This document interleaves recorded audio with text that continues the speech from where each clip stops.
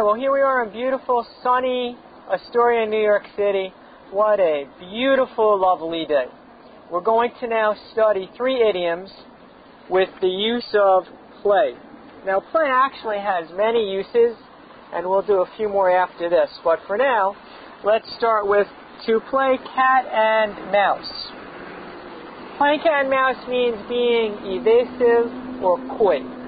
Evasive means not sharing all of the information, not telling the entire truth, telling a shade of truth, or not even really sharing anything, or maybe even almost lying. Coy is being shy, excuse me, sly, not shy, excuse me, being sly. Uh, it's very similar to evasive. So when we're playing cat and mouse, typical example would be mom and dad to the little child. So, uh, Sonny, what did you do? The door is broke. Oh, well, and they don't give the real story. Okay, parents to children very common boss to worker, boyfriend to girlfriend, romantic relationship, not sharing the full truth. Next, use footsies.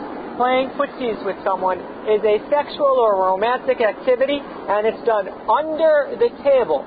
Okay, so think of a meeting, and you have a conference table, and you have a bunch of people, and the two people next to each other, they have a very serious face because it's a meeting. But meanwhile, under the table, they're going, you know, playing with each other's feet. You can't see my feet, but their feet are touching each other, and probably they're not making faces. They might be, but um, anyway, most of the people around wouldn't know. We'd say they're playing footsies. Last use is hardball. Uh, the boss, for example, could say, "We're going to play hardball with that company." It does not mean baseball. It does not mean the opposite of softball. That's the ordinary use. The use as an idiom for play, hardball, is to be tough or aggressive. Cat and mouse, coy and evasive. Footsies is a sexual or romantic activity, and hardball is aggressive. All right, we'll do a few more uh, as soon as I erase this and we start again.